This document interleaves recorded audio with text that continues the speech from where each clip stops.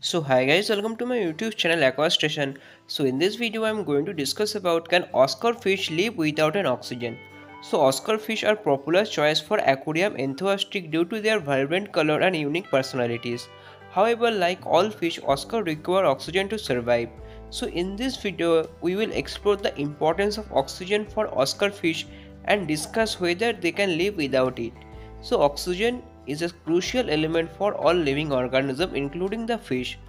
Fish breathe by extracting oxygen from the water through their gills. Without an adequate supply of oxygen, fish will suffocate and eventually die.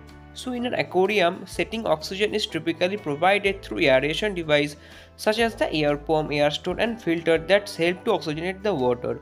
So in the wild, Oscar fish inhabited slow moving rivers and streams in South America where oxygen levels are naturally higher due to the movement of the water.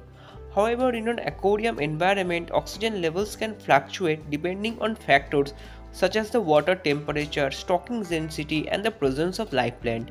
So, can Oscar fish live without an oxygen? The short answer is no. So, without oxygen, Oscar fish will not be able to survive for an extended period of time. However, there are some important considerations to keep in mind.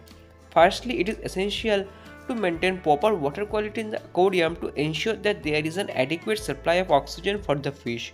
So regular water changes, proper filtration and avoiding overstock can help to maintain the optimal oxygen levels in the tank.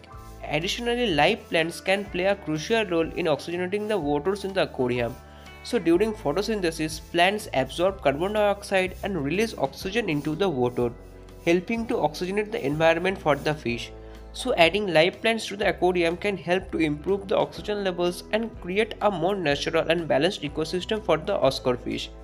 It's also important to consider the temperature of the water in the aquarium. So warmer water hold less oxygen than cooler water. So it is essential to monitor and regulate the temperature to ensure that there is enough oxygen for the fish to breathe comfortably. So in conclusion, while fish cannot conclusion Oscar fish cannot live without oxygen it is essential to maintain the proper water quality, consider the use of live plants and monitor the temperature of the aquarium to ensure that there is an adequate supply of oxygen for the fish. By providing a well oxygenated environment, you can help to create a healthy and thriving ecosystem for your Oscar fish to enjoy.